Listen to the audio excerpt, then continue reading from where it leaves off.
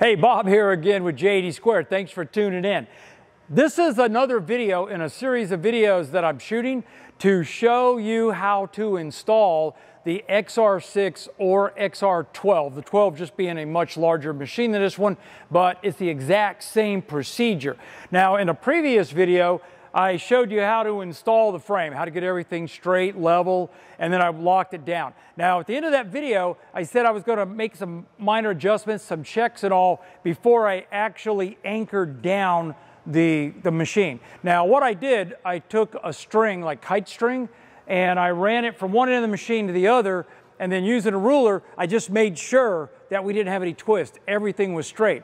I got this thing eyeball perfect. So anyway, after I did that, I then made sure that as I mentioned, these legs kind of unloaded off the ground, which is what we wanted. So I snugged them up a little bit as I explained how to do in the first video. And then I used my, uh, my level right here and I basically checked to make sure that everything looked good, and it does. Um, it's easy to do. You just got to be, you know, take your time. You know, make sure everything's right. You do not have to have it perfect. Um, I mean, imagine a 24 foot long machine. What is what does this thing got travel wise? You know, what is that? 200 inches, 240 inches, 260 inches. If you're off 20 thou, you know, on this end, half a millimeter, you're not going to see it in your cuts. I, you know, because remember, the carriage is also going to be moving over as it comes down. So you don't have to have it perfect, but you want to get it as close as humanly possible because why not, right? Make your life easier. All right, anyway, in this particular video, we're going to go ahead and install the gear racks and the rods, the round rods right here. Each machine comes with six three quarter inch round rods. Two of them are going to be short, two of them are going to be long. Same thing with the, the gear racks. You notice how heavy and big these gear racks are. Here at JD Squared, we build stuff to last. We don't, we don't want to, we don't want to nickel and dime you in support over the years because we built the machine light duty. So everything's heavy. But anyway, we're going to install the gear racks under the rails and then we will be installing the round rods right there. So I think without further ado, let me reposition the camera so I could show you the idea of what we're trying to accomplish, how we're going to mate these gear racks together, and then we'll get on with it. This is going to be a short one. This is, a, this is an easy job. Your XR machine is going to be supplied with two bump stop limit switch triggers, and they look like let me see if I get a little bit closer for you. They look like that right there. Give, give the camera a chance to focus.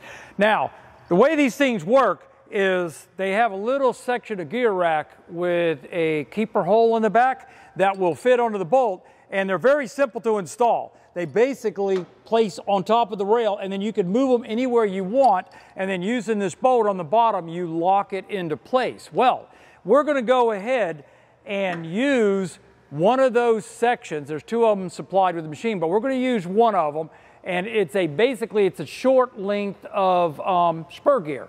So we're going to use it to mesh into the existing gear rack. Now I've got a picture showing you what the idea is. And what we're going to be doing is we're going to be placing this gear rack here up underneath the rail. Now in the rail, I'll also take a picture of that for you. There is pretty long slots so you could shift this thing um, fore and aft in order to match the other one up. So what I'm going to do is I'm going to use this section to mesh it, but I'm going to go ahead first and run the bolts up and go ahead and install this gear rack and I'm going to bump it against the existing gear rack in the machine.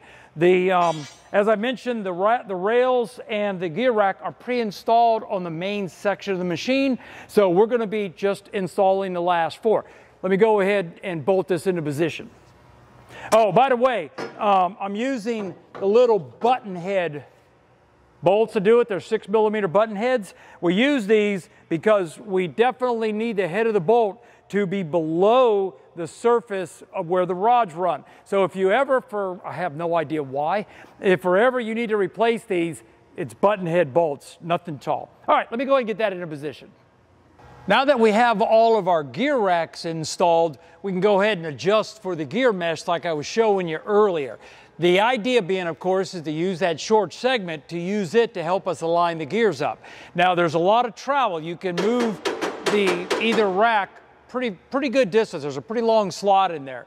So anyway, what we're gonna do is we're gonna pull the rack towards each other and then we're gonna place the little gear segment right on them and then using a pair of vice grips, I am gonna pull it down and I'll post a picture of it so that you can see exactly what I'm doing, just like that.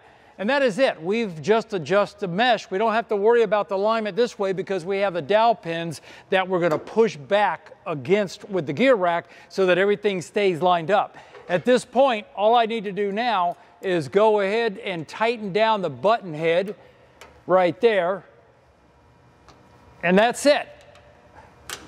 I'll run on down, I'll tighten up all of the button heads. There's quite a few of them. It looks like there's about 13 or 14 of them on this rack alone. Um, and then this rack is installed. Now it's very important that after it is installed, when we remove it, everything's locked down. You do want a little bit of daylight in between these two gear racks right here. You don't want them touching. Um, what we do here at the factory is we mill away the flat part so that that daylight will be there. If there's no daylight there, that means your mesh may not be 100% correct. Um, I don't know how that occur or can occur, but if it does, basically just hit it with a little grinder, whatever. And um, but like I said, we machine these things here, so you, you shouldn't see that. But you are looking for daylight. Anyway, that's it for the to install the gear racks. Let's go ahead and install the uh, the round rod for the rollers. Before I put in the rods, let me mention something. When I was tightening the bolts up for the gear racks, um, I made sure that I pushed the gear rack against the dowel pins to keep everything nice and straight. I think I forgot to tell you that. So make sure you do that as you go down the line, tightening up those button head screws. Anyway, to install the round rods, we're going to start with the short ones.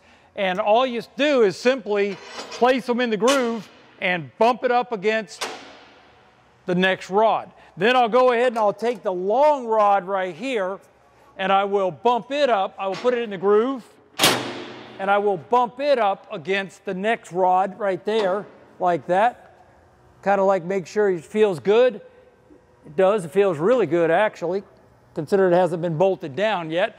Um, and then what I'm going to do after I do that, I've got everything pushed together. I'm going to go ahead and take these six millimeter flathead bolts. They're, they're um, 10 millimeters long, and we're going to place them in the rails themselves and screw them down. Now what I'm going to do, and I'll, I'll provide a picture here, I am going to screw them down till they, they are just about flush with the top of the rail. And what the idea is, is they're going to go down and they're going to pinch and lock this rail against the outside edge and hold it down.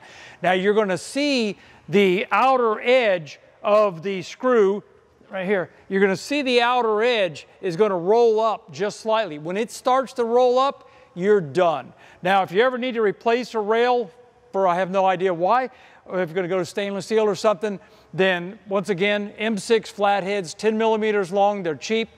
Do not reuse them. Once they roll over the edge, they're done. All right, let me go ahead and install one of those right here. In fact, I'll do it now. Let me um, I'm going to use an impact wrench to get me in the area, just to get me down, but I don't want to use the impact wrench to tighten everything. I'm just letting it go down. All right, now all I have to do is I'm going to take my standard hex wrench and I'm going to start running it down. I'm going to put on my glasses so that I can see a little bit better. I'm going to start running it down, and we need to run it all the way down until it is just either flush with the top rail or just above it. The idea is that the head has to be below the roller. And the roller's got about, I think it's like, I don't know, one and a half millimeters, 60 thou play um, or clearance between the rail. So you're going to go ahead and roll it down that far, trying to get it pretty close to even. Um, I can see it rolling up real good. And that is all there is to it. So let me go ahead. I will put in the rest of these um, flatheads right here, and then I'll be back with some closing statements. Okay, we did it. We've got the frame, everything's installed. We've got all of the round rods in the machine, gear racks in the machine. That wasn't a very long process. I, under an hour easily. You know, uh, if I had to guess, maybe 30 minutes if I wasn't shooting a video trying to do all that. But anyway, everything worked good. Let me give you a couple of pointers on situations that you may run into installing the rods right there. And when you want, the first one, of course, is when you bump the two rods together like this, there's gonna be a slight little air gap there.